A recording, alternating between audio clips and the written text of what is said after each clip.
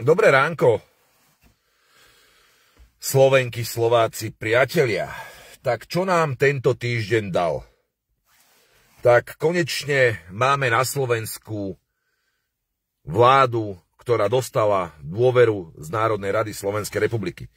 78 poslancov zahlasovalo za konečne proslovenskú vládu a jej, nazvime to perfektne, perfektné vyhlásenie vlády alebo programové vyhlásenie vlády.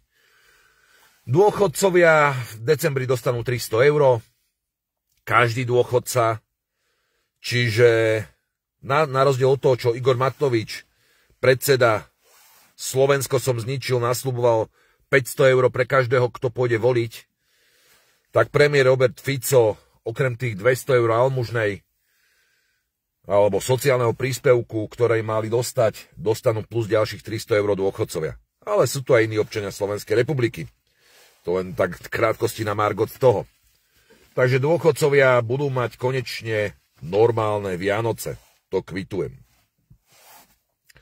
Hneď po programovom vyhlásení vlády priatelia sa začal odvolávať minister vnútra Matúš Šutaještok, ktorý sa ešte doteraz neodvolal ani sa neodvolal ale vtedy tá opozícia dostala takú nahubu, že možno ešte doteraz sa jej točí hlava.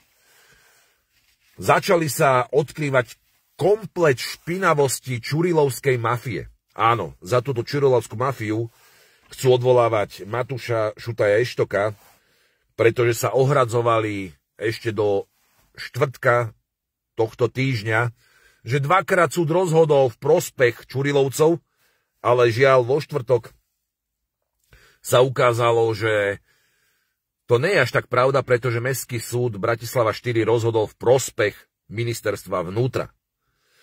Ale dozvedeli sme sa aj tam celkové zaujímavosti, ako napríklad to, že síce ich trápny právnik Kubina, týchto Čurilovcov, samozrejme progresívneho Slovenska, ktorý keď sa vystresuje, sa mu zarosia popolníky, tak to zase ako si nedomyslel. Síce začiernil prvú stranu, ale na tretej strane sme sa dozvedeli, že Janko Čurila, šéf tejto zločineckej skupiny, dostával mesačne od štátu cca 5234 eur. Super, nie? Od tej doby mi chodili niektoré informácie od príslušníkov policajného zboru, ktorí nasadzujú život za 1470 eur v čistom. Klobúk dole pred Čurilovcami. A opozícia sa nám rozdelila na také tri tábory. Máme tam kút hamby, jak to nazval Matúš Šuta Ještok. Kvitujem, lepšie by som to nenazval ani ja, ako kút hamby. Tí, čo zničili Slovensko. A preto aj ich strana sa teraz volá Slovensko som zničil. Som rád, že tento, ná, tento názov pre bývalé Olano sa ujal, Slovensko som zničil je výstižný názov týchto gašparov v kúte hamby. Kam patrí Veronika Remišová, Kalimero Pročko, áno, Veronika Remišová jednotka, po nej je nazvaná jednotka tu posti na Slovensku. Kalimero Pročko, Šipoš, Polák, Mikulec. Áno, Mikulec dokonca žiada zbierku pre týchto Čurilovcov. Tí musia mať dobre nahnané, pretože už čo chvíľu, čo chvíľa sa roztočia kolesa spravodlivosti a veľmi zle skončia. Očakávam, že už možno marci budú v Národnej rade schválovať vydaniem niektorých poslancov na väzobné stíhanie, aby neovplyvňovali svetkov. Pekné. Pekné. Takže áno, kúd hamby. Potom tam máme kúd liberálnych extrémistov. Tam jednoznačne patrí Šušno Šparat Šimečka, ktorý sa dostal na svoju pozíciu ani nevie jak. Jeho tatičko, veľký kamarát Uja Šoroša. Áno, všetci rozprávajú, že je to 90-ročný detko, ale zabudli na to, že tam má aj Alexandra, ktorý bol mimochodom tento rok na Globseku. Dobre si to pamätám? Ak nie, tak sa mýlim. A samozrejme, pravdepodobne budú chcieť ovplyvňovať eurovoľby tak, jak to majú Šorošovci zvykom. Nedovolíme. V tomto kúte liberálnych extrémistov je takisto Mária. Pardon, ona sa volá Plaváková. Ale podarilo sa jej odtehotneť bez muža, tak ja ju už volám priatelia Mária, pretože naposledy, keď sa také niečo stalo, že žena otehotnela bez muža, tak vyšla nad Betlehemom hviezda. Ale nie teraz vážne. Máme tam úpiera z Nosferatu, Trubana, ktorý má veľmi veľké skúsenosti s drogami. A toto je, priatelia, príklad pre naše deti. Typicky tento Truban, čo drogy dokážu spôsobiť s človekom. A potom tam máme KDH, ktoré ako si mohlo byť v koalícii, ale sa rozhodli, že budú v opozícii. Samozrejme, klub Hamby útočia na týchto liberálov, pretože k týmto liberálom, k týmto liberálnym extrémistom patria aj zo pár ľudí z Osasky. Viď Ríško Sulit. Mimochodom, vysvetlíš mi, ako mohli prežrať 400 tisíc eur v nejakej reštaurácii? 400 tisíc eur. Ríšo, to je 12 miliónov korún, cez 12 miliónov korún. Ale áno, Ríško Súlik sa celý život riadil z cudzieho krv netečie a pre svojich kamarátov organizoval celkom zábavné veci. Ale o tom, priatelia, už čoskoro, nechce sa mi teraz zapodievať nejakým Sulíkom a jeho podržtaškou Ubo Žiakom. Samozrejme, k tomuto klubu patrí ešte aj Kolíková, ktorá sa takisto trasie. Trasie sa Kolíková, pretože sa zistujú aj špinavosti, ktoré ona mala na krku. Či už je to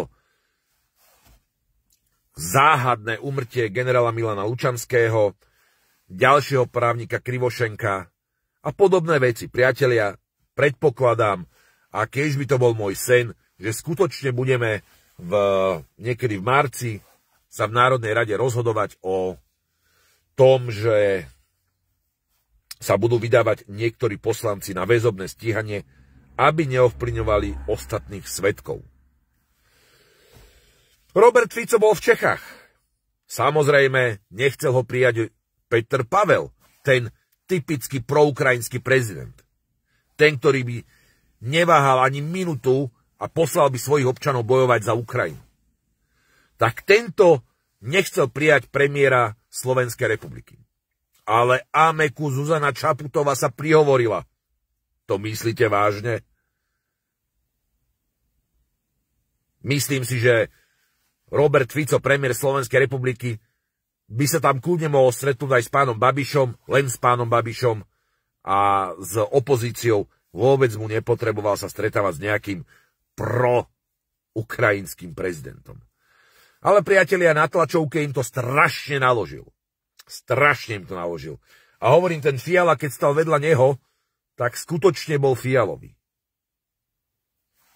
Totálne fialový pri ňom, alebo z fialovosti až zbledol, pretože Robert Fico tam jasne povedal, žiadne, Ukraji- žiadne zbranie na Ukrajinu a konflikt treba riešiť mierovou cestou, pretože to môže trvať 10 rokov a za 10 rokov tam môžu byť milióny mŕtvych.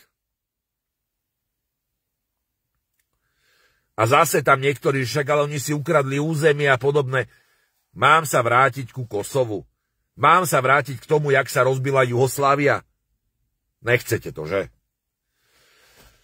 A čo je najsmutnejšie, priatelia, už aj opičak Jaroslav Naď na Facebooku sa začína obúvať, že na Slovensku sú zase hybridné vojny a vláda s tým nič nerobí.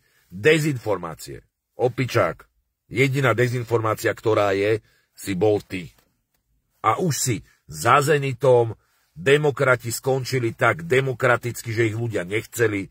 Nedostali ste ani príspevok na stranu. Je to smutné, tak vám treba. Karma je zdarma a zbytočne vyplakávaš. Áno, tebe Spojené štáty americké zabezpečili flag u ministerky obrany v Českej republike. Ale už čoskoro aj tamto skončí. Proste, demokrati sú nevoliteľní a tak ďalej. Ďalšia vec, priatelia, skutočne stala sa tá tragédia s tým 15-ročným mladým chlapcom. A ja som presvedčený o tom, že nový minister školstva by mal jednoznačne riešiť aj šikanu na takýchto školách, či už sú základné školy alebo stredné školy. Zbytočne bude tá škola maximálne vybavená. Zbytočne budete rozdávať milióny v tabletoch pre deti, ktoré to nepotrebujú. A kde tie tablety skončia väčšinou v zberniach alebo respektíve v, v rôznych záložniach. V prvom rade sa deti majú učiť to, aby mali k sebe toleranciu. Nie len toleranciu k tým, ktorí sú inač orientovaní. Hlavne voči sebe.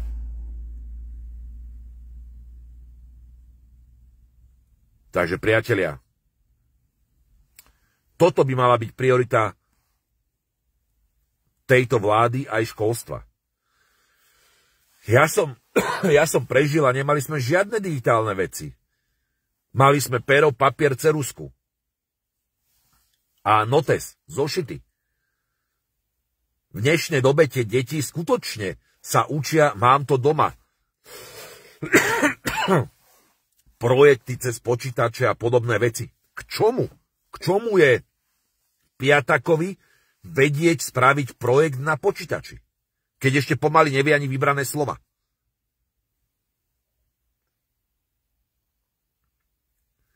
Takže priatelia, určite by mala vláda sa zaoberať aj touto vecou a ja si neviem živo predstaviť, čo by som robil ja, keby som bol v koži toho otca dieťaťa. Je to tragédia.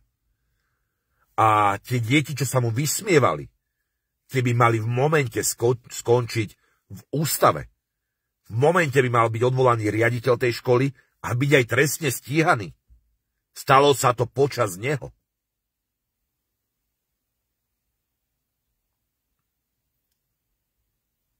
A jednoznačne šikanu by som riešil tým štýlom, v momente zobrať rodičom sociálne dávky, prídavky na deti a deti odobrať. Ale zase z druhej strany, keď si zoberiete tie polepšovne alebo respektíve ústavy pre mladistvých, je to tam ešte horšie.